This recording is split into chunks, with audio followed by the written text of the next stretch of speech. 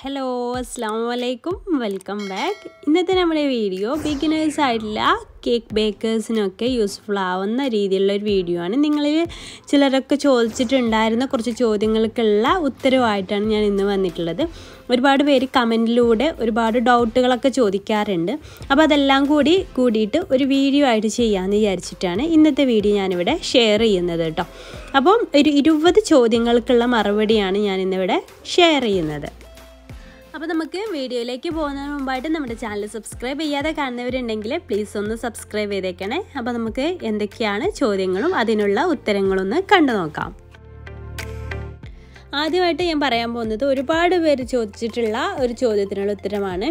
കേക്കിന്റെ മുകൾ ഭാഗം ഒട്ടുന്നത്. ഇത് പൊതുവേ നമുക്ക് ഓവളിൽ കേക്ക് ബേക്ക് ചെയ്യുന്ന കേക്കിന് വരാറില്ല. നമ്മൾ ഗ്യാസ് സ്റ്റോപ്പിൽ ഇറക്കി വെച്ചിട്ട് പാത്രത്തിൽ ഇറക്കി വെച്ചിട്ട് ചെയ്യുന്ന കേക്കിനാണ് ഈ മേൽഭാഗം ഒട്ടുന്ന ഒരു പ്രോബ്ലം വരുന്നത്. അപ്പോൾ അതിന് പല റീസണുകൾ കൊണ്ടും നമുക്കത് ഒട്ടൽ വരാം. ഒന്നുകിൽ ബട്ടർ ഓയിൽ നമ്മൾ വെറ്റ് ഇൻഗ്രീഡിയൻസിൽ എടുക്കുന്ന ബട്ടർ ഓയിലൊക്കെ കൂടിപ്പോയാൽ അങ്ങനെ വരാം.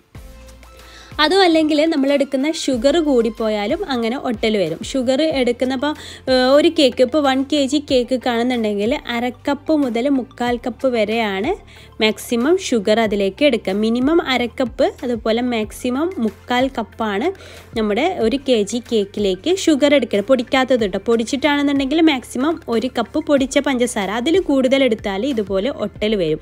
അപ്പം ഷുഗറൊക്കെ എടുക്കുമ്പോൾ പ്രത്യേകം ശ്രദ്ധിക്കുക. പിന്നെ ഷുഗറിന്റെ തന്നെ വേറൊരു പ്രോബ്ലം കൊണ്ടും ഇങ്ങനെ ഒട്ടൽ വരാൻ ചാൻസ് ഉണ്ട്. എന്താണെന്ന് വെച്ചാൽ നമ്മളിപ്പോൾ ഞാനിപ്പോൾ അധികം കേക്കിലേക്കും പൊടിക്കാതെയാണ് പഞ്ചസാര ചേർക്കൽ പക്ഷെ അതെനിക്ക് ഉറപ്പുള്ളത് കൊണ്ടാണ് അത് കംപ്ലീറ്റ് ആയിട്ട് മെൽട്ടായി പോകുന്നത് എനിക്ക് ഉറപ്പുള്ളത് കൊണ്ടാണ് ഞാൻ പൊടിക്കാതെ തന്നെ യൂസ് ചെയ്യുന്നത്.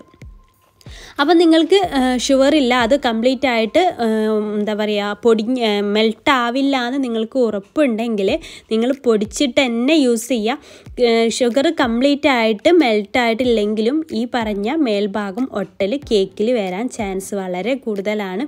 അത് പ്രത്യേകം ശ്രദ്ധിക്കുക കേട്ടോ. അപ്പോൾ ചെറിയ തരിയുള്ള പഞ്ചസാരയാണെങ്കിൽ മാത്രം നമ്മളിങ്ങനെ ചെയ്യുന്ന സമയത്ത് പൊടിക്കാതെ ചേർത്താൽ മതി. അപ്പോൾ വലിയ തരിയൊക്കെ ഉള്ളതാണെന്നുണ്ടെങ്കിൽ എന്തായാലും നിങ്ങൾ പൊടിച്ചിട്ട് തന്നെ ചേർക്കാം അതുപോലെ തന്നെ നന്നായിട്ട് മെൽട്ടാക്കാനും പൊടിക്കാത്തതാണെന്നെങ്കിൽ നന്നായിട്ട് മെൽട്ടായെന്ന് വരെ ബീറ്റ് ചെയ്തെടുക്കാനും പ്രത്യേകം ശ്രദ്ധിക്കുക കേട്ടോ. ഇനി നമുക്ക് രണ്ടാമത്തെ ഡൗട്ട് ഒന്ന് ക്ലിയർ ചെയ്യാം. രണ്ടാമത്തെ ഡൗട്ട് എന്താണെന്ന് വെച്ചാൽ ഏത് വിപ്പിംഗ് ക്രീമാണ് ഏറ്റവും നല്ലത്? അതും അതുപോലെ തന്നെ അത് ഉപയോഗിക്കുന്നതിന് മുമ്പും ഉപയോഗിക്കുന്നതിന് ശേഷം എവിടെ സ്റ്റോർ ചെയ്യണം? ഇതൊരു ഡൗട്ടാണ് അപ്പം ഞാൻ എനിക്ക് തോന്നിയിട്ടുള്ളത് യൂസ് ചെയ്യുന്നതിൽ ഏറ്റവും ടേസ്റ്റും ഏറ്റവും നല്ല വിപ്പിംഗ് ക്രീം എന്ന് പറയുന്നത് റിച്ചസിന്റെ വിപ്പ് ടോപ്പിംഗ് ഗോൾഡ് എന്ന് പറഞ്ഞിട്ടുള്ള ഈ ഒരു ക്രീമാണ് ടേസ്റ്റ് വൈസ് നോക്കുകയാണെങ്കിൽ ഈ ഒരു ക്രീമാണ് ഏറ്റവും നല്ലത്. ഇതിനാണ് കൂടുതൽ റേറ്റും ഉള്ളത് കേട്ടോ. പിന്നെ ഞാൻ എപ്പോഴും സെയിൽ ചെയ്യാനും അതുപോലെ നമുക്ക് സ്റ്റിഫ്നെസ്സിന്റെ കാര്യത്തിലൊക്കെ ബെറ്റർ വിവോ അതുപോലെ തന്നെ ഫിയോണ ഈ രണ്ട് ക്രീമാണ് വിവോയുടെ പേരിപ്പോൾ ചേഞ്ച് ആക്കിയിട്ടുണ്ട്. ഇപ്പോൾ പ്രസ്റ്റീൻ എന്നാണ് കേട്ടോ വിവോയുടെ പേര്. റിച്ച് ഗോൾഡ് ക്രീം നമുക്ക് സ്റ്റിഫ് ആവുമെങ്കിലും പക്ഷേ നമ്മൾക്ക് ഈ ഫിയോണയുടെയും അതുപോലെ വിവോയുടെയും അത്ര ലാസ്റ്റിങ് കിട്ടില്ല ക്രീം പെട്ടെന്ന് മെൽട്ട് ആവാനുള്ള ടെൻഡൻസി കാണിക്കുന്നുണ്ട് റിച്ചിന്റെ ക്രീം നമ്മൾ വീട്ടിലൊക്കെ ഉണ്ടാക്കുന്ന കേക്കാണെന്നുണ്ടെങ്കിൽ അതന്നെ എടുത്താൽ മതി. പക്ഷെ നമ്മൾ സെയിൽ ചെയ്യുമ്പോൾ കുറേ ദൂരമൊക്കെ കൊണ്ടുപോകാനുള്ള കേക്കൊക്കെ ആവുമ്പോൾ ഫിയോണ അല്ലെങ്കിൽ വിവോ ഒക്കെ ആയിരിക്കും നല്ലത്. ഞാൻ എപ്പോഴും ചൂസ് ചെയ്യാറ് അധികവും യൂസ് ചെയ്യാറ് ഫിയോണ തന്നെയാണ് കേട്ടോ ഇനി നമുക്ക് മൂന്നാമത്തെ ഒരു ഡൗട്ടിലേക്ക് പോവാം. എന്താണെന്ന് വെച്ചാൽ നമ്മൾ വിപ്പ് ചെയ്തിട്ടുള്ള ക്രീം ബാക്കി വരുന്നുണ്ടെങ്കിൽ അത് എവിടെ സ്റ്റോർ ചെയ്യാന്നുള്ളതാണ് മൂന്നാമത്തെ ഒരു ഡൗട്ട് എന്ന് പറയുന്നത്.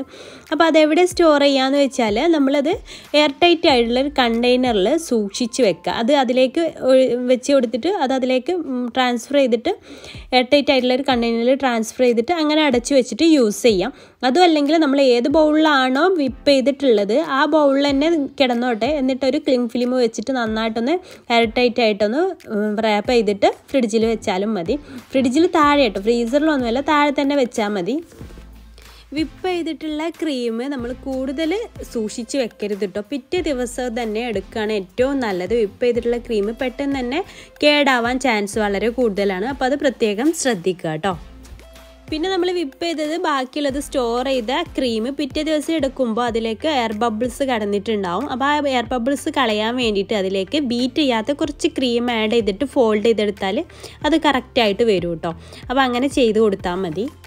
നാലാമത്തെ ഒരു ഡൗട്ട് എന്താണെന്ന് വെച്ചാൽ ക്രീം ഓവർ ബീറ്റ് ആയാൽ എന്ത് ചെയ്യുന്നതാണ് ഇപ്പം നേരത്തെ പറഞ്ഞു ഞാൻ അതിനുള്ള ഉത്തരം ഞാൻ അതിന് പറഞ്ഞു.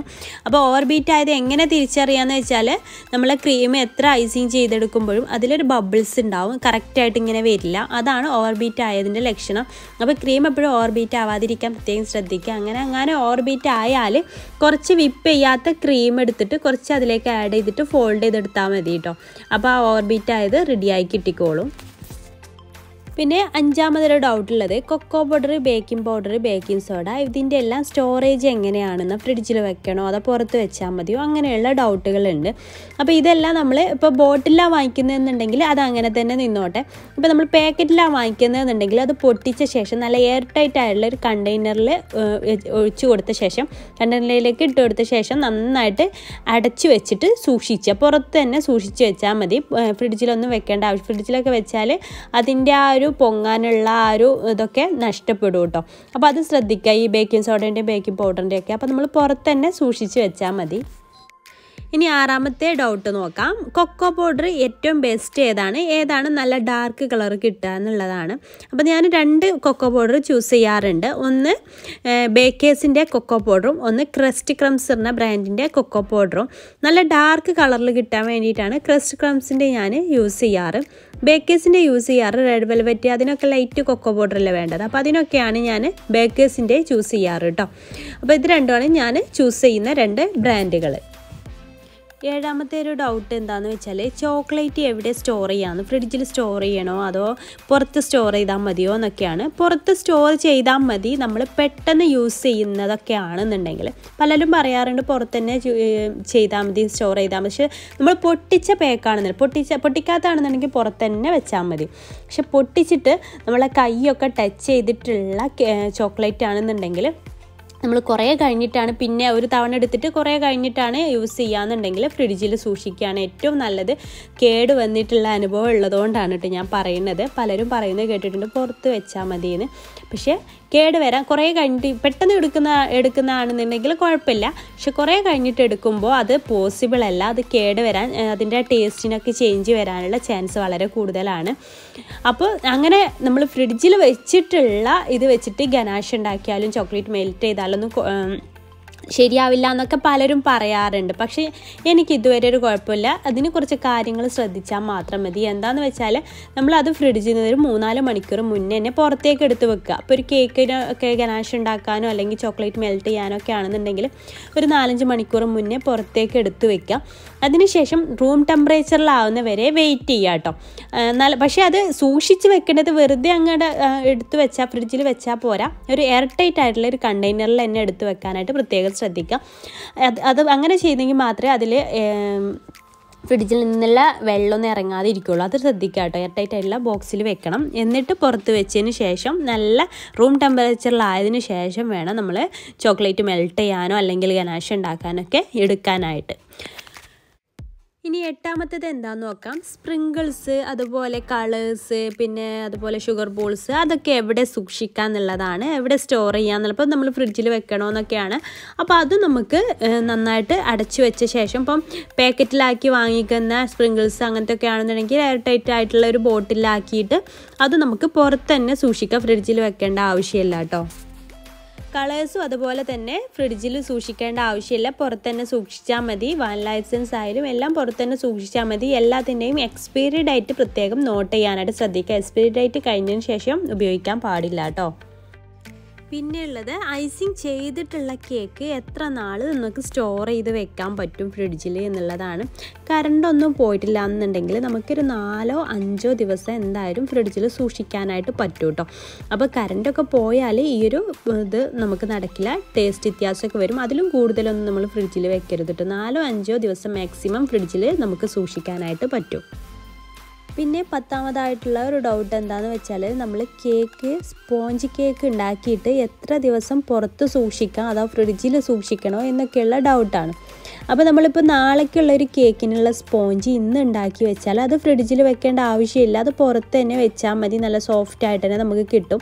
പിന്നെ നിങ്ങൾക്ക് രണ്ട് ദിവസം മുന്നേ തന്നെ സ്പോഞ്ചൊക്കെ ഉണ്ടാക്കി എടുക്കണം എന്നുണ്ടെങ്കിൽ നമുക്ക് എന്ത് ചെയ്യാം? നല്ല ക്ലിങ് ഫിലിം വെച്ചിട്ട് അത് നന്നായിട്ട് റാപ്പ് ചെയ്തിട്ട് ഫ്രിഡ്ജിൽ സൂക്ഷിക്കുക. അതല്ലെങ്കിൽ ഒരു എയർ ടൈറ്റ് ആയിട്ടുള്ള ഒരു ബോക്സിൽ അടച്ച് വെച്ചിട്ട് അങ്ങനെ സൂക്ഷിച്ചാലും മതി. അതും ഫ്രിഡ്ജിൽ വെച്ചാൽ മതി. എന്നിട്ട് എടുക്കുന്നതിന്റെ നമ്മൾ ഐസിങ് ചെയ്യുന്നതിന്റെ ഒരു മൂന്നാൽ മണിക്കൂർ മുന്നേ ഫ്രിഡ്ജിൽ നിന്ന് എടുത്ത് പുറത്തേക്ക് വെക്കുക. അപ്പം നല്ല സോഫ്റ്റ്നെസ്സോടെ നമ്മൾ എങ്ങനെയാണോ ഉണ്ടാക്കിയിരുന്നത് അതേ സോഫ്റ്റ്നെസ്സോടുകൂടി തന്നെ നമുക്ക് കേക്ക് കിട്ടും കേട്ടോ. ഒരു ദിവസമൊക്കെ ഫുള്ളായിട്ട് കേക്ക് പുറത്ത് വെച്ചാൽ കേക്കിന് ഒരു കേടും ഉണ്ടാവില്ല കേട്ടോ. പിന്നെ ഉള്ളൊരു ഡൗട്ട് എന്താണെന്ന് വെച്ചാൽ എത്ര ടാപ്പ് ചെയ്താലും വീണ്ടും വീണ്ടും ബബിൾസ് വരുന്നുണ്ട് എന്നാണ് അപ്പോൾ നമ്മൾ ടാപ്പ് ചെയ്യുന്ന ആദ്യം ഞാൻ സ്ക്യൂർ ഉപയോഗിച്ചൊരു ചുറ്റിച്ച് കൊടുത്ത ശേഷമാണ് ടാപ്പ് ചെയ്യാറ്. നാലോ അഞ്ചോ പ്രാവശ്യം ടാപ്പ് ചെയ്യാറേ ഉള്ളൂ. അപ്പോൾ നിങ്ങൾ ഓരോ ടാപ്പ് ചെയ്യുമ്പോഴും അതിനനുസരിച്ച് ബബിൾസ് ഉള്ളിൽ നിന്നിങ്ങനെ പുറത്തേക്ക് വരാറുണ്ട്. അത് വിചാരിച്ചിട്ട് കൂടുതൽ ബബിൾസ് കളയൊന്നും വേണ്ട കേട്ടോ. ഒരു നാലോ അഞ്ചോ പ്രാവശ്യം ഒന്ന് ടാപ്പ് ചെയ്ത് കൊടുത്താൽ മതി. നമ്മൾ ടാപ്പ് ചെയ്യുന്നതിനനുസരിച്ച് ബബിൾസ് വരും. അപ്പോൾ അത് കണ്ടിട്ട് നിങ്ങൾ പേടിക്കൊന്നും വേണ്ട. അങ്ങനെ ഡൗട്ട് ഒന്ന് രണ്ട് പേരെന്നോട് ചോദിച്ചിട്ടുണ്ടായിരുന്നു. എത്ര ടാപ്പ് ചെയ്തിട്ടും ബബിൾസ് വരുന്നുണ്ടെന്ന്. നമ്മൾ എത്ര തവണ ടാപ്പ് ചെയ്താലും അത് അങ്ങനെ വരാൻ വരാറുണ്ട്. വരും വരാൻ ചാൻസ് ഉണ്ടെന്നല്ല വരാറുണ്ട്. അപ്പോൾ അത് കണ്ട് പേടിക്കേണ്ട. ബബിൾസ് വരും. അത് വെച്ച് കുറേ നേരം ടാപ്പ് ചെയ്തിരിക്കുമൊന്നും വേണ്ട. ഒരു നാലഞ്ച് പ്രാവശ്യം ടാപ്പ് ചെയ്താൽ മതി. എന്നാലും കേക്ക് നല്ല നല്ല റെഡി ആയിട്ട് തന്നെ നമുക്ക് കിട്ടും കേട്ടോ പിന്നെ ഒരു ഡൗട്ട് ഇത് ഒരുപാട് പേര് ചോദിച്ചിട്ടുള്ള ഒരു ഡൗട്ടാണ് പുറത്തേക്ക് തള്ളി നിൽക്കുക. ഓരോ ലെയേഴ്സ് കേക്കിന്റെ ലെയേഴ്സ് പുറത്ത് ചില ലെയേഴ്സ് പുറത്തേക്ക് തള്ളി നിൽക്കുക.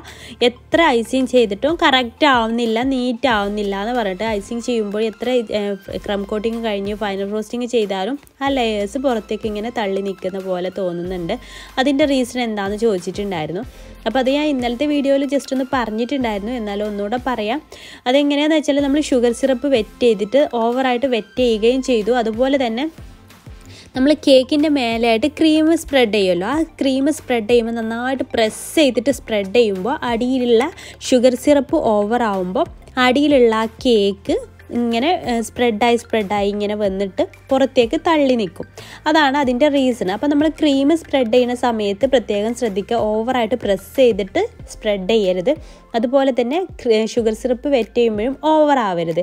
എന്നാൽ ഷുഗർ സിറപ്പ് എല്ലാ ഭാഗത്തേക്ക് എത്തുകയും വേണം. ആ രീതിയിൽ വേണം നമുക്ക് ചെയ്തെടുക്കാൻ വേണ്ടിയിട്ട്. അപ്പോൾ ക്രീം സ്പ്രെഡ് ചെയ്യുമ്പോൾ നന്നായിട്ട് പ്രസ് ചെയ്തിട്ട് പാൽ നൈഫ് നന്നായിട്ട് പ്രസ് ചെയ്തിട്ട് ക്രീം സ്പ്രെഡ് ചെയ്യാതിരിക്കാൻ പ്രത്യേകം ശ്രദ്ധിക്കുക. അത് ഒഴിവാക്കിയാൽ തന്നെ നമ്മുടെ കേക്ക് നല്ല പെർഫെക്റ്റ് ആയിട്ട് ലെയറൊക്കെ ചെയ്തെടുക്കാനായിട്ട് പറ്റും. ഇനിയുള്ളൊരു ഡൗട്ട് എന്താണെന്ന് വെച്ചാൽ മുട്ട നന്നായിട്ട് ബീറ്റായിട്ട് വരാൻ വേണ്ടിയിട്ട് എത്ര ടൈം എടുക്കുമെന്നാണ് അപ്പോൾ ഒരു അഞ്ച് മുതൽ ആറ് മിനിറ്റിനുള്ളിൽ തന്നെ നല്ല ഫ്ലഫി ആയിട്ട് ഇതുപോലെ ബീറ്റായി കിട്ടും കേട്ടോ മുട്ട. അപ്പോൾ അതിന് ഓരോ ബീറ്ററിന്റെ വോട്ടിനനുസരിച്ചും ഡിഫറൻസ് വരും. അഥവാ മുന്നൂറ് വാട്ടുള്ള ഒരു ബീറ്ററാണെന്നുണ്ടെങ്കിൽ അഞ്ചാറ് മിനിറ്റിനുള്ളിൽ തന്നെ നല്ല ഫ്ലഫി ആയിട്ട് മുട്ട ബീറ്റായി കിട്ടും. ഇതുപോലെ നല്ല ഫ്ലഫി ആയിട്ട് കിട്ടിയാൽ മാത്രമേ നമ്മളെ കേക്ക് നല്ല സോഫ്റ്റായിട്ട് കിട്ടുള്ളൂ. അപ്പോൾ മുന്നൂറ് വാട്ടിൽ താഴെയുള്ള ബീറ്ററൊക്കെ ആണെന്നുണ്ടെങ്കിൽ ഇതുപോലെ നമുക്ക് അഞ്ച് മിനിറ്റിന്റെയോ ആറ് മിനിറ്റിന്റെ ഉള്ളിലായിട്ടൊന്നും നമുക്ക് ബീറ്റായി കിട്ടില്ല. അപ്പോൾ അതിനനുസരിച്ചിട്ട് മാറ്റം നിങ്ങളുടെ ബീറ്റർ എത്ര വാട്ടുള്ളതാണെന്ന് ചെക്ക് ചെയ്യുക. അതിനുശേഷം നോക്കിയാൽ മതി. അപ്പോൾ ബീറ്ററൊക്കെ എടുക്കുമ്പോൾ എപ്പോഴും ഞാൻ മുന്നേ പറഞ്ഞതാണ് മുന്നൂറ് വാട്ടിൽ കൂടുതലുള്ള ബീറ്റർ എടുക്കാനായിട്ട് പ്രത്യേകം ശ്രദ്ധിക്കണം. പിന്നെ ഉള്ളത് അണീവനായിട്ടുള്ള കേക്ക് കിട്ടാനുള്ള കാരണം. അഥവാ മേൽഭാഗം പൊങ്ങിയാണ് നിൽക്കുന്നത് ഒരേ ലെവലിൽ കേക്ക് ബേക്കായി വരുന്നില്ല. അതുപോലെ ചില ഭാഗങ്ങളിൽ നല്ല ഉയർന്നിട്ടും ചില ഭാഗങ്ങൾ താഴ്ന്നിട്ടും. അപ്പോൾ അതൊക്കെ എന്തുകൊണ്ടാണെന്നുള്ളതാണ്. അപ്പോൾ നമ്മൾ ഡ്രൈ ഇൻഗ്രീഡിയൻസ് ആദ്യം അരിച്ചെടുക്കുന്ന സമയത്ത് അത് നന്നായിട്ട് തന്നെ മിക്സ് ചെയ്യാൻ ശ്രദ്ധിക്കുക. അല്ലാന്നുണ്ടെങ്കിൽ ഒരു മൂന്ന് നാലോ തവണ മൂന്ന് തവണ നാല് തവണയൊന്നും വേണ്ട മൂന്ന് തവണ നന്നായിട്ട് അരിച്ചെടുക്കാനും ശ്രദ്ധിക്കാം. അത് നന്നായിട്ട് മിക്സ് ആയിട്ടില്ലെങ്കിൽ ഇത് സംഭവിക്കും. അതുപോലെ തന്നെ നമ്മൾ മുട്ടയും വാനില എസൻസും പഞ്ചസാരയൊക്കെ ബീറ്റ് ചെയ്യുമല്ലോ വെറ്റ് ഇൻഗ്രീഡിയൻസ് ബീറ്റ് ചെയ്തതിന് ശേഷം അതിലേക്ക് ഡ്രൈ ഇൻഗ്രീഡിയൻസ് ഇട്ട് ഫോൾഡ് ചെയ്യുന്ന സമയത്ത് എല്ലാ ഭാഗത്തേക്കും കറക്റ്റായിട്ട് ഫോൾഡ് ചെയ്യാനായിട്ട് ശ്രദ്ധിക്കുക. ഒരു ഭാഗത്തേക്ക് ഡ്രൈ ഇൻഗ്രീഡിയൻസ് ചെന്നുകയോ ഒരു ഭാഗത്തേക്ക് വരാതിരിക്കുകയോ ഒക്കെ ചെയ്യുമ്പോഴും നമ്മുടെ കേക്ക് ലെവലായിട്ട് കിട്ടില്ല. അപ്പോൾ അതൊക്കെ പ്രത്യേകം നമ്മൾ ശ്രദ്ധിച്ച് ചെയ്യേണ്ട കാര്യം കേക്കിന്റെ മെഷർമെന്റിലാണ് ഓരോ കാര്യങ്ങളും ഇരിക്കുന്നത് കേട്ടോ. മെഷർമെന്റിലും അതുപോലെ അത് ചെയ്യുന്ന കാര്യങ്ങളൊക്കെ പ്രത്യേകം ഡിപ്പെൻഡ് ചെയ്തിട്ടാണ് നമ്മുടെ കേക്കിന്റെ സോഫ്റ്റ്നെസ്സും കേക്ക് നന്നാവുന്നതൊക്കെ ഇരിക്കുക. പിന്നെയുള്ള ഒരു പ്രോബ്ലം എന്താണെന്ന് വെച്ചാൽ കേക്കിന് ഹൈറ്റ് കിട്ടുന്നില്ല എന്നുള്ള ഒരു പ്രോബ്ലമാണ് അപ്പോൾ അതിനുള്ള മെയിനായിട്ടുള്ള ഒരു റീസൺ എന്താണെന്ന് വെച്ചാൽ നമ്മൾ എടുക്കുന്ന ബേക്കിംഗ് ടിന്ന് കറക്റ്റ് സൈസ് ആവില്ല. ഇപ്പോൾ വൺ കെ ജിക്ക് ആണെന്നുണ്ടെങ്കിൽ എട്ട് ഇഞ്ചിന്റെ മോൾഡ് എടുത്താൽ നമുക്ക് കറക്റ്റ് ഹൈറ്റ് കിട്ടും. അതുപോലെ തന്നെ അര കിലോയുടെ കേക്ക് ആണെന്നുണ്ടെങ്കിൽ സിക്സ് ഇഞ്ച് അതുപോലെ ഓരോ കിലോയ്ക്കും ഓരോ അളവിലുള്ള ബേക്ക് ടിൻ ഉണ്ട്. അതിനനുസരിച്ച് എടുക്കുക. അപ്പോൾ നമ്മളിപ്പം വൺ കെ ജിയുടെ കേക്കാണെന്നുണ്ടെങ്കിൽ നമ്മളിപ്പോൾ ഒരു നയൻ ഇഞ്ചിന്റെ എടുത്താൽ നമുക്ക് ഹൈറ്റ് കിട്ടില്ല. നയൻ ഇഞ്ചിന്റെ ബേക്ക് ചെയ്തെടുത്താൽ ഹൈറ്റ് കിട്ടില്ല. അതാണ് ഈ ഒരു ഇതിന്റെ മെയിൻ ആയിട്ടുള്ള ഒരു റീസൺ എന്ന് പറയുന്നത്. പിന്നീടുള്ളത് വേറൊരു റീസൺ എന്താണെന്ന് വെച്ചാൽ നമ്മൾ ഡ്രൈ ഇൻഗ്രീഡിയൻസ് ഒക്കെ മിക്സ് ചെയ്യുന്ന സമയത്ത് ഓവറായിട്ട് മിക്സ് ചെയ്യാം. ഓവറായിട്ട് മിക്സ് ചെയ്യുമ്പോഴെന്താ സംഭവിക്കുകയെന്ന് വെച്ചാൽ നമ്മുടെ മുട്ട നന്നായിട്ട് ഫ്ലഫി ആയിട്ട് വന്നതൊക്കെ താഴ്ന്നു പോയിട്ട് കേക്ക് ബാറ്റർ ലൂസായി പോകും അങ്ങനെ വരുമ്പോഴും നമുക്ക് നല്ല സോഫ്റ്റ്നെസ് ആയിട്ട് അല്ല അതുപോലെ തന്നെ നല്ല ഹൈറ്റിലുള്ള കേക്ക് കിട്ടില്ല. അപ്പോൾ ഓവർ മിക്സിങ്ങും പാടില്ല. അതുപോലെ കറക്റ്റ് മെഷർ ഇത് കറക്റ്റ് അളവിലുള്ള ബേക്കിംഗ് ടിന്ന് ചൂസ് ചെയ്യാനായിട്ടും ശ്രദ്ധിക്കുക. പിന്നെ ബേക്കിംഗ് ടൈമിനെ കുറിച്ചാണ് പലരും പറഞ്ഞിട്ടുള്ളത്. വീഡിയോസിലൊക്കെ പറയുന്നതിലും കൂടുതൽ ടൈം എടുക്കുന്നു എന്ന്. അത് നമ്മൾ ഓരോരുത്തരുടെയും ഗ്യാസ് സ്റ്റോവിലെ ഫ്ലെയിമിനനുസരിച്ചും അതുപോലെ ഓവണാണെന്നുണ്ടെങ്കിൽ അതിന്റെ ടെമ്പറേച്ചറിനനുസരിച്ചൊക്കെ ഡിഫറൻസ് വരും. ഓരോന്നിനനുസരിച്ച് ഡിഫറൻസ് ചിലത് നല്ലോണം കത്തുന്ന ഗ്യാസ് സ്റ്റോവായിരിക്കും ചിലത് കത്താത്ത സ്റ്റൗ ആയിരിക്കും. അപ്പോൾ ലോ ടു മീഡിയം ഫ്ലെയിമിൽ നിന്നാണ് നമ്മൾ ബേക്ക് ചെയ്യുന്ന ടൈം പറയാറ്. അപ്പോൾ അങ്ങനെ ആകുമ്പോൾ ചിലത് നല്ല ലോയിലായിരിക്കും കത്തുക. അപ്പോൾ അതിനനുസരിച്ചൊക്കെ ടൈമിന് ചേഞ്ച് വരും. അതുപോലെ റൗണ്ട് മോൾഡിലേറെ കൂടുതൽ ടൈം നമുക്ക് സ്ക്വയർ മോൾഡിൽ ബേക്ക് ചെയ്യുമ്പം എടുക്കും കേട്ടോ അപ്പോൾ അതൊക്കെ ശ്രദ്ധിച്ചാൽ മതി. അപ്പോൾ ഓരോ ഫ്ലെയിമിനനുസരിച്ച് ഡിഫറൻസ് വരും. പിന്നെയുള്ളത് ഓവണിൽ ഉൾഭാഗം കുക്കാവുന്നില്ല എന്നുള്ളൊരു കാര്യമാണ്. ഇത് മെയിനായിട്ട് വരാറ് കൺവെൻഷൻ ഓവണിലാട്ടോ. ഒ ടി ജി ഓവണിൽ ഈ ഒരു പ്രോബ്ലം അങ്ങനെ വരാറില്ല. കൺവെൻഷൻ ഓവണിൽ ഈ ഒരു പ്രോബ്ലം എങ്ങനെയാണെന്ന് വെച്ചാൽ എനിക്ക് ഉണ്ടായിട്ടുണ്ട് ആദ്യമൊക്കെ ഈ ഒരു പ്രോബ്ലം മുകൾ ഭാഗം വേഗം ഹാർഡായി പോയിട്ട് ബ്രൗൺ കളറൊക്കെ ആയിട്ട് വരും. അതുപോലെ ഉൾഭാഗം കുക്കായിട്ട് വരികയില്ല. അങ്ങനെ ആവുമ്പോൾ അതെന്താണുള്ള റീസൺ എന്താ വെച്ചാൽ ടെമ്പറേച്ചർ വേരിയേഷൻ തന്നെയാണ് അതിന്റെ റീസണ് അപ്പോൾ നമ്മളിപ്പോൾ നൂറ്റി അൻപത് ഡിഗ്രി സെൽഷ്യസിലൊക്കെ ബേക്ക് ചെയ്യാൻ പറഞ്ഞിട്ടുള്ള ഒരു കേക്ക് ഇങ്ങനെ സംഭവിക്കുന്നതിന്റെ കാരണം ആ ഓവണിന് ടെമ്പറേച്ചറിന് ചേഞ്ച് ആക്കേണ്ടതുണ്ട്. എല്ലാ ഓവണിനും ഇതിന്റെ ആവശ്യമില്ല. ചില ഓവണിന്. അപ്പോൾ ഞാൻ അങ്ങനെ ചേഞ്ച് ആക്കിയതിന് ശേഷമാണ് എന്റെ കേക്ക് ഓവണിൽ പെർഫെക്റ്റ് ആയിട്ട് വരാൻ തുടങ്ങിയത്. അപ്പോൾ അതിന് മുമ്പ് ഞാൻ ഓവണിൽ എങ്ങനെയാണ് കേക്ക് പെർഫെക്റ്റ് ആയിട്ട് ഉണ്ടാക്കുക കൺവെൻഷൻ ഓവനിൽ ഉണ്ടാക്കാമെന്ന് വീഡിയോ ചെയ്തിട്ടുണ്ടായിരുന്നു. അപ്പോൾ അത് ഞാൻ ഡിസ്ക്രിപ്ഷൻ ബോക്സിൽ അതിന്റെ ലിങ്ക് കൊടുക്കാം കേട്ടോ അപ്പോൾ അതെങ്ങനെയെന്ന് വെച്ചാൽ നമ്മളിപ്പോൾ നൂറ്റൻപത് ഡിഗ്രി സെൽഷ്യസിൽ ആദ്യം പ്രീഹീറ്റ് ചെയ്തിട്ടുള്ള ഓവണിൽ ഒരു പത്ത് മിനിറ്റ് ആദ്യം ഒന്ന് ബേക്ക് ചെയ്യാൻ വെക്കാം. അതിനുശേഷം അത് നൂറ്റൻപത് ഡിഗ്രിയിൽ നിന്ന് കുറച്ചിട്ടൊരു നൂറ്ററുപത് ഡിഗ്രിയിലേക്ക് ആക്കിയതിന് ശേഷം ഒരു പത്ത് മിനിറ്റ് കൂടി എക്സ്ട്രാ ടൈം എടുത്തിട്ട് ബേക്ക് ചെയ്തെടുക്കുകയെന്നുണ്ടെങ്കിൽ നമുക്ക് പെർഫെക്റ്റ് ആയിട്ട് തന്നെ കൺവെൻഷൻ ഓവണിലും ബേക്ക് ചെയ്തെടുക്കാൻ പറ്റും. അപ്പോൾ എല്ലാ കൺവെൻഷൻ ഓവണും ഇതുപോലെയല്ല കേട്ടോ. ചില കൺവെൻഷൻ ഓവണിന്റെ ഈ ഒരു പ്രോബ്ലം വരുന്നുള്ളൂ. പിന്നെയുള്ള ഒരു ഡൗട്ട് എന്താണെന്ന് വെച്ചാൽ നമ്മുടെ കേക്കിന്റെ നടുഭാഗം കുഴിഞ്ഞു പോകാനുള്ള കാരണം എന്താണ്? അപ്പോൾ അതിനുള്ള മെയിനായിട്ടുള്ള കാരണം നമ്മൾ കേക്ക് ബേക്കാക്കി എടുക്കുന്നതിന്റെ ഇടയിൽ പോയിട്ട് അതിന്റെ ലിഡ് ആണെങ്കിൽ ഇപ്പോൾ നമ്മൾ ഏത് പാത്രത്തിലാണ് ബേക്ക് ചെയ്യുന്നത് അതിന്റെ ലിഡ് പോയി തുറന്നു നോക്കുക. അല്ലെങ്കിൽ ഓവൺ ഇടയ്ക്കിടയ്ക്ക് പോയിട്ട് തുറന്നു നോക്കുക. അങ്ങനെയൊക്കെ ആകുമ്പോൾ നമ്മൾ പുറത്തുള്ള എയർ പെട്ടെന്ന് ആ ഒരു ചൂടുള്ള എയറിലേക്ക് വരുമ്പോൾ അങ്ങനെ കേക്ക് കുഴിഞ്ഞു പോകാൻ ചാൻസ് വളരെ കൂടുതലാണ്. പിന്നെ വേറൊരു കാരണം എന്താണെന്ന് വെച്ചാൽ നമ്മൾ ഓവർ മിക്സിങ് ചെയ്യുമ്പോൾ നമ്മൾ ഡ്രൈ ഇൻഗ്രീഡിയൻസ് ഒക്കെ ഓവറായിട്ട് ബാറ്ററിൽ മിക്സ് ചെയ്യുമ്പോൾ സാവധാനം വേണം മിക്സ് ചെയ്തെടുക്കാൻ വേണ്ടിയിട്ട്. നമ്മൾ ഓവറായിട്ട് സ്പീഡിൽ ചെയ്തെടുക്കുമ്പോൾ ബാറ്റർ ബാറ്ററിന് ബേക്കിംഗ് പൗഡറിന്റെ ഒക്കെ ആ ഒരു വ്യതിയാനം കൊണ്ട് ആ ഒരു വേരിയേഷൻ കൊണ്ട് കേക്ക് കുഴിഞ്ഞു പോകാൻ ചാൻസ് ഉണ്ട്. പിന്നെ അതുപോലെ ബേക്കിംഗ് പൗഡർ ആയാലും ബേക്കിംഗ് സോഡ ആയാലും ഒക്കെ എക്സ്പീരിയഡ് ആയിട്ട് നോക്കിയിട്ട് അതുപോലെ പുതിയത് ഫ്രഷ് ആയിട്ടുള്ളത് എടുക്കാനായിട്ട്. ഒരു ബേക്കിംഗ് പൗഡർ ആയാലും ബേക്കിംഗ് സോഡ ആയാലും അതൊക്കെ നമ്മൾ ഫ്രഷ് ആയിട്ടുള്ള എടുക്കുക. ഒന്ന് പൊട്ടിച്ച ശേഷം മാക്സിമം രണ്ട് മാസം വരെ യൂസ് ചെയ്താൽ മതി. അതിൽ കൂടുതൽ യൂസ് ചെയ്യരുത്. പിന്നെയുള്ളത് കേക്കിന്റെ അടിഭാഗവും സൈഡ് പോർഷൻസൊക്കെ ഹാർഡായി പോകുന്നതിനുള്ള റീസൺ പറഞ്ഞ് ഒരുപാട് പേര് ചോദിച്ചിട്ടുണ്ടായിരുന്നു. അപ്പോൾ അതിനുള്ള മെയിനായിട്ടുള്ള റീസൺ നമ്മൾ കേക്ക് ടിന്ന് ഗ്രീസ് ചെയ്യുന്ന സമയത്ത് ഓവറായിട്ട് ഗ്രീസ് ചെയ്തതുകൊണ്ടാണ് അങ്ങനെ സംഭവിക്കുന്നത്. അപ്പോൾ ഓവറായിട്ട് ഗ്രീസ് ചെയ്യരുത്. ഒരു തുള്ളി ഇപ്പോൾ ഓയിലൊക്കെ ആണെന്നുണ്ടെങ്കിൽ ഒരു തുള്ളി ഓയിൽ യൂസ് ചെയ്തിട്ട് എല്ലാ ഭാഗത്തേക്കും ബ്രഷ് ചെയ്ത് കൊടുത്താൽ മതി. ഓവറായിട്ട് ചെയ്യുമ്പോഴാണ് സൈഡായാലും അടിയൊക്കെ ആയാലും നല്ല ഹാർഡായിട്ട് പോകുന്നത്. ഉൾഭാഗം ഒന്നും കുഴപ്പമുണ്ടാവില്ല. സൈഡ് പോർഷനും അടിഭാഗം മാത്രമേ ഹാർഡായി പോകുന്നുണ്ടാവുള്ളൂ. അപ്പോൾ അതാ ഇതാണ് മെയിനായിട്ടുള്ള റീസൺ കേട്ടോ. പിന്നെ ഉള്ളത് ഫ്ലവർ വരക്കുമ്പോൾ ക്രീം ലൂസായി പോകുന്നു എന്നുള്ളതാണ്. ഫ്ലവർ വരക്കുന്ന സമയത്ത് ഞാൻ അതിനെ സെപ്പറേറ്റ് ഒന്നും ചെയ്യാറൊന്നുമില്ല. പക്ഷേ ക്രീം ലൂസായി പോകുന്നുണ്ടെങ്കിൽ അതിനുള്ള മെയിനായിട്ടുള്ള കാരണം നമ്മൾ സ്റ്റിഫാക്കിയത് മതിയായിട്ടുണ്ടാവില്ല. ക്രീം നന്നായിട്ട് സ്റ്റിഫാക്കി എടുത്താൽ ക്രീം ഫ്ലവർ വരക്കുമ്പോഴും ലൂസായി പോവില്ല. പിന്നെ എങ്ങാനും നിങ്ങൾക്ക് ക്രീം ലൂസായി പോകുന്ന ഡൗട്ട് ഉണ്ടെങ്കിൽ നമ്മൾ ക്രീം സ്റ്റിഫാക്കിയതിന് ശേഷം കുറച്ച് സമയം ഫ്രിഡ്ജിൽ വെക്കുക. പെട്ടെന്ന് എടുക്കേണ്ടതാണെന്നുണ്ടെങ്കിൽ ഫ്രീസറിൽ വെക്കുക. ഒരു പത്ത് പതിനഞ്ച് മിനിറ്റ് ഫ്രീസറിൽ ഒന്ന് വെച്ചതിന് ശേഷം എടുത്തിട്ട് ഫ്ലവർ വരക്കുക എന്നുണ്ടെങ്കിൽ നല്ല പെർഫെക്റ്റ് ആയിട്ട് വരക്കാൻ പറ്റും. പക്ഷെ അതിനൊക്കെ നന്നായിട്ട് ക്രീം സ്റ്റിഫാക്കി എടുക്കൽ നിർബന്ധമാണ് കേട്ടോ. അപ്പോൾ നിങ്ങൾ ചോദിച്ചിട്ടുള്ള ഇരുപത് ചോദ്യങ്ങൾക്കുള്ള മറുപടി ഞാനിവിടെ ഷെയർ ചെയ്തിട്ടുണ്ട്. ഇനി എന്തെങ്കിലും ഡൗട്ടുകൾ ഉണ്ടെങ്കിൽ നിങ്ങൾ കമന്റിലൂടെ ചോദിക്കൂട്ടോ. ഞാൻ റിപ്ലൈ അറിയുന്നതൊക്കെയാണെന്നുണ്ടെങ്കിൽ റിപ്ലൈ തരുന്നതായിരിക്കും. അപ്പോൾ ഒരുവിധ ഡൗട്ടുകളൊക്കെ നിങ്ങൾക്ക് ക്ലിയർ ആയി എന്ന് വിചാരിക്കുന്നു. വീഡിയോ നിങ്ങൾക്ക് യൂസ്ഫുൾ ആയി എന്ന് തോന്നിയിട്ടുണ്ടെങ്കിൽ ലൈക്ക് ചെയ്യാൻ മറക്കരുത്. അതുപോലെ മറ്റുള്ളവരിലേക്ക് ഷെയർ ചെയ്യാൻ താല്പര്യം ഉണ്ടെങ്കിൽ ഷെയർ ചെയ്യാനും മറക്കരുത്. വീഡിയോ ഒരുപാട് ലെങ്തി ആയി പോയി എന്നറിയാം എല്ലാം ഡീറ്റെയിൽഡ് ആയിട്ട് പറഞ്ഞപ്പോൾ ഇത്തിരി ലെങ്തി ആയി പോയതാണ്. അതിന് ക്ഷമിക്കണം. അപ്പോൾ ഇൻഷാല്ല പുതിയൊരു നല്ലൊരു വീഡിയോ ആയിട്ട് നമുക്ക് നാളെ കാണാം. താങ്ക്